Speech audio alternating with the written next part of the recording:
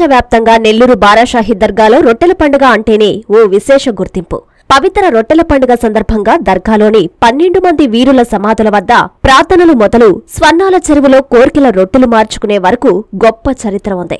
నెల్లూరులో జరిగే రొట్టెల పండుగకు దేశ విదేశాల నుంచి భక్తులు లక్షలాదిగా తరలి వస్తారనేది జగమెరిగిన సత్యం. ఇంతటి విశేషమైన బారాషాహి దర్గాలో జరిగే రొట్టెల పండుగ సమయంలో దర్గా ఆవరణలో ఏర్పాటు చేసే దుకాణాలు ప్రత్యేక ఆకర్షణగా నిలుస్తున్నాయి. చిన్న గుండు సూది నుంచి గృహోపకరణాల వరకు ఎన్నో రకాల వస్తువులు రొట్టెల పండుగకు వచ్చే భక్తులను కనువిందు చేస్తూ స్వాగతం పలుకుతున్నాయి. చిన్నారులు ఆడుకునే వస్తువుల నుంచి మగువల మనస్సు దోచే వివిధ మోడల్స్లో గాజులు కమ్మలు హారాలు వస్త్రాలు అలంకరణ వస్తువులు పురుషులకు అవసరమైన వస్త్రాలు వస్తువులు ఇట్టే కట్టిపడేస్తున్నాయి. ఇంకొంచెం ముందుకు వెళ్తే ఇళ్ళలో ఉపయోగించే అన్ని రకాల వస్తువులు ముందుకు కదలనీయడం లేదు. అంత ఆకర్షణగా ఆకట్టుకుంటున్నాయి. ఉత్సవాల్లో షాపింగ్ అంటేనే మనోళ్ళకు భలే హుషారొచ్చేస్తుంది. దానికి తోడు దేవుడి దగ్గరకు వచ్చిన వాళ్ళు ఏదో ఒకటి ఇంటికి తీసుకెళ్ళాలనే సెంటిమెంట్ ఉండడంతో మగువలు విపరీతంగా షాపింగ్ చేసేస్తున్నారు. ఇంతకీ నెల్లూరులోని బారాషాహి దర్గాలో రకరకాల మోడల్స్లో వెలసి ఉన్న దుకాణాల సొగసులను ఓసారి చూసేద్దాం.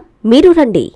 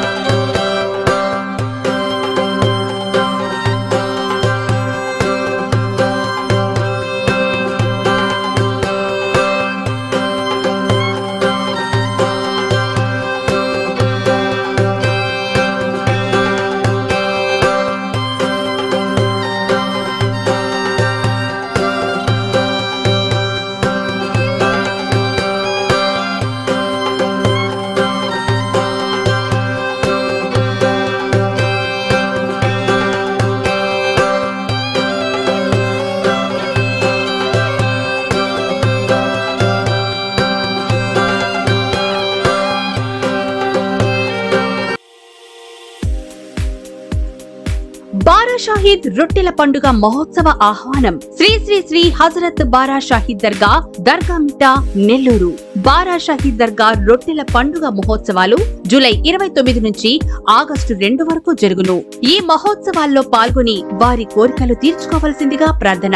మహోత్సవ వివరాలు ఇరవై తొమ్మిదిన సందల్ మాలి ముప్పైన గంధం మహోత్సవం ముప్పై ఒకటిన రొట్టెల పండుగ ఆగస్టు ఒకటిన తహలీల్ ఫతేహా రెండున ముగింపు సభ జరుగును.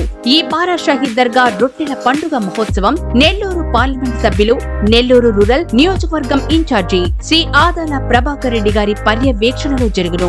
ఈ కార్యక్రమానికి భక్తులు భారీ సంఖ్యలో పాల్గొని రొట్టెల పండుగను విజయవంతం చేయవలసిందిగా ప్రార్థన. ఇట్లు బారా షహీద్ దర్గా రొట్టెల పండుగ మహోత్సవ committee chairman Ismail Khadiri Sheikh Mastan vice chairman Bara Shaheed Dargah.